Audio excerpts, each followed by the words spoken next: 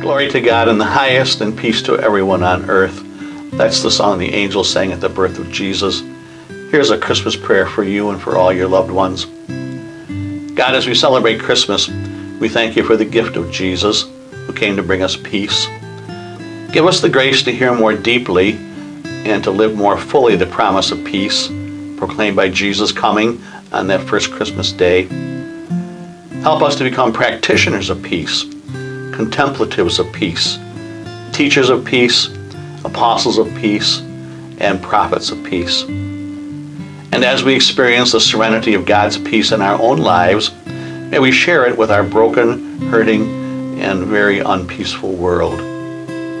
Christmas peace to you and to all who love you and all you love. Merry Christmas.